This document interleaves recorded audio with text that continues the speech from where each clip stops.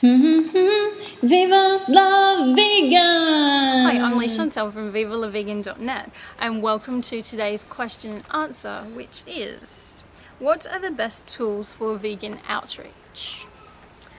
I think just in general, tools or the best ways, the most effective thing that you can do, anything um, where you're leading by example you know you're living your message and acting in a non-judgmental compassionate way. These are the best ways that I think you can be effective with vegan outreach. Um, I'll give you some other tips and tools for both online and in person. And don't think for a moment that one of these is better than the other no matter what other people say. You just need to find out your skills the things you like doing and the things that you can see yourself actually committing to for a long long sort of purpose. And it's pretty simple really if you like um, for example if you like leafleting and you can do that once a week for two hours a week then you should do that. And that's meant to be a really effective way of getting the message out and converting people over to veganism or vegetarianism. So in person here's a few ideas.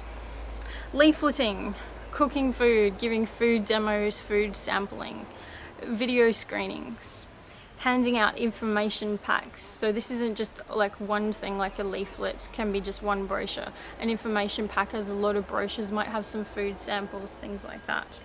Volunteering mentoring, letter writing, speaking, teaching or coaching if you're good at that sort of thing, pay-per-view events, like um, I don't know if you're aware but you can pay to you can pay people like a dollar to watch a two minute movie and you can get funding from that from, from um, veg funds as well. Protests. There's so many different things that you can do. What else do you think is a good thing for in-person um, outreach? Some online ones. Now these can be used if you have your own website like I do, vivalavegan.net or on your social media channels and um, you can use all these tools for outreach. Some of these lap over as well into online and um, in person. And don't forget email. So many people, just because they're on Facebook all the time, forget email. And email is a really good way to get the message out to people because it's not just a short burst of information at a particular time. You send an email and it's there in someone's email inbox until they delete it. So keep those things in mind. So here's some ideas for online outreach. A website, blogs, videos, articles, interviews, recipes, forums, podcasts, mentoring online, online coaching, online information packs, letters, campaigns, mailing, email, online advertising is really good as well.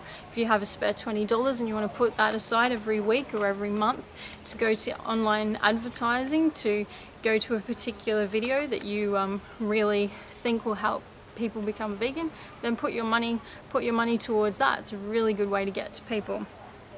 And keep in mind, you can either create these things or you can just share what other people have created already. And there's a hell of a lot of good stuff that already exists out there. So please don't think that you need to create new stuff all the time when some really good things already exist.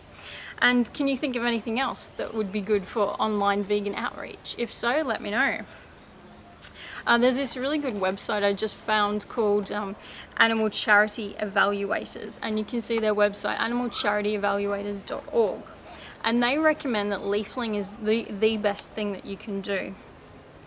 Um, it's the best way to get to a lot of people in time. Keep in mind that you need a high traffic sort of area and um, using just a few hours a week and it has the most effective outcome in their opinion and especially if you use brochures that come from farm animal advocacy.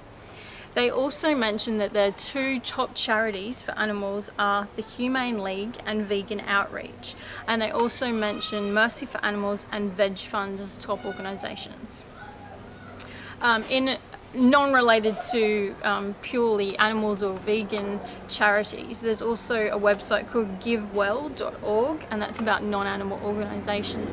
And if you give a lot of money to charities, definitely check out both of those websites because they do a lot of um, research and give a lot of information onto what actually works and so that your money that you put into something actually goes towards helping the things that you think it's going to because the majority of charities don't. So um, I hope that's all helped today with um, telling you the best tools for vegan outreach. Please let me know if something worked for you or it doesn't. And I look forward to seeing you next week for our question and answers. Make sure you've subscribed if you have not. And next week's question will be, what is the best source of calcium? See you then.